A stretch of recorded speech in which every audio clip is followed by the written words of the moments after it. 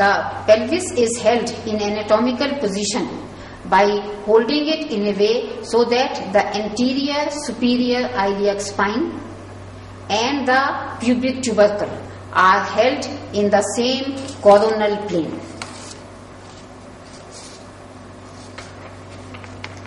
Now the boundaries of the true pelvis. The pelvic inlet, the boundaries are sacral promontory posteriorly. This is the anterior border of the sacral one vertebra is known as sacral promontory. Then the upper margin of pubic symphysis anteriorly. The linea terminalis including the arcuate line the iliopubic eminence, pectineal line, and pubic crest. These are the boundaries of the pelvic inlet. The pelvic cavity. The pelvic cavity is continuous with the abdominal cavity above and with the pelvic outlet below. The lateral boundaries of the pelvic cavity are the pelvic surface of the ischium bones on each side. There is more space in the pelvic cavity in the females. Posteriorly, it is bounded by the middle of the sacrum and anteriorly by the middle of the pubic symphysis. Now, the pelvic outlet. Pelvic outlet is bounded by the inferior pubic ligament anteriorly, the ischiopubic rami, the ischial tuberosity, the sacrotuberous ligament, and the coccyx. The dimensions of the pelvis in female. Pelvic inlet. Anteroposterior diameter from the midpoint of sacral promontory to the upper border of pubic symphysis. It is 11 centimeters. Transverse diameter is the maximum diameter between the right and the left sides and it is 13 centimeters. Oblique diameter from one iliopubic eminence to the opposite sacroiliac joint and is 12 centimeters. So the transverse diameter is the maximum at the inlet of pelvis. The pelvic cavity. Anteroposterior diameter from midpoint of S3 vertebra to the posterior surface of pubic symphysis and is 12 centimeter. Transverse diameter, the maximum diameter of the pelvic cavity, it is also 12 centimeter. The oblique diameter from the lowest point of one sacroiliac joint to the midpoint of the opposite obturator membrane. And this is also 12 centimeter. All the three diameters are same in the pelvic cavity pelvic outlet. The anteroposterior diameter from the tip of the coccyx to inferior margin of pubic symphysis and it is 13 centimeter. The transverse diameter between the two ischial tuberosities and it is 11 centimeter. The oblique diameter from midpoint of the sacrotuberous ligament on one side to the junction of ischiopubic rami on the other side and it is 12 centimeter. So at the pelvic outlet the the anteroposterior diameter is the maximum. This figure shows the plane of inlet, plane of outlet and the horizontal plane. The plane of inlet makes an angle of 50 to 60 degree with the horizontal plane. and the plane of outlet makes an angle of about 15 degree with the horizontal plane. The axis. Axis lies at right angles to the center of the plane. The, this line shows the axis of inlet and it is going downwards and backwards to show the axis of the cavity and further it comes downwards and forwards to show the axis of the outlet. The next figure shows the J-shaped direction which the fetus takes during its difficult journey. First it passes through the axis of inlet, then through the axis of the cavity and finally through the axis of the outlet. Okay. This model shows the full term fetus delivering out.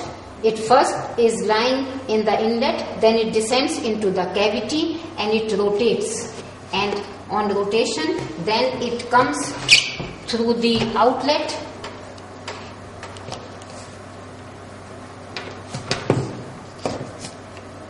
and once the head delivers it is followed by the delivery of the shoulders and the rest of the body. The differences between the male and the female pelvis. We will talk more about the peculiarities or specificities of the female pelvis. The bones of female pelvis are lighter thinner. The body of sacral one vertebra is smaller and it is almost equal to one ala of the sacrum. That means body of S1 is almost one third the base of the sacrum. The pelvic part of iliopectineal line is longer. The pubic tubercles are wider. Inlet is oval The figure shows the, the shape of the pelvic inlet. In the case of ma- females, the pelvic inlet is wider. The indentation by the sacrum is less. In the is less in the case of females, and the widest diameter is placed anteriorly. In the case of male, the shape of the pelvic inlet is heart shaped. It is wider posteriorly and narrow anteriorly. And the indentation by the sacrum is more in the case of males. In the males, the cavity is longer, more conical and narrow, like a long segment of a cone. In females, the cavity is shorter and more cylindrical, like a short segment of a long cone. The subpubic angle, angle between the right and left ischiopubic rami, is 50 to 60 degrees in the case of males, whereas the subpubic angle is bigger in the case of females and is about 80 degrees. This is a very important characteristic point of difference between the male and the female pelvis. In the case of females, the ischial tuberosities are more everted. The greater sciatic notch is wider. The lesser sciatic notch is also wider, and the ischial spines are again kept at a wider distance. All these mechanisms are there to make the pelvic cavity bigger and roomier for the fetus. Now we do the structures crossing the pelvic brim. From the median plane, there is the median sacral artery and two small veins accompanying it. This runs in the center and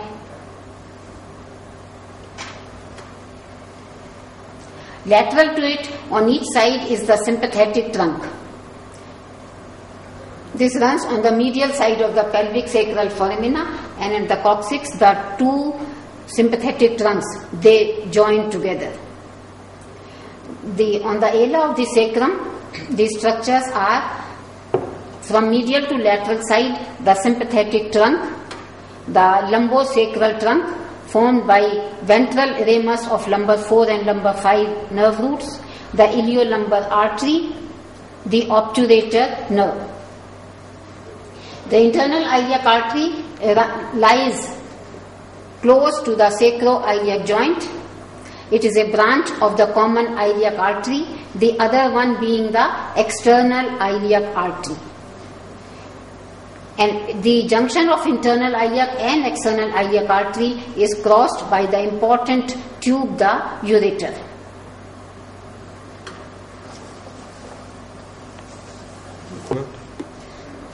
This diagram shows the internal iliac artery crossing the brim of the pelvis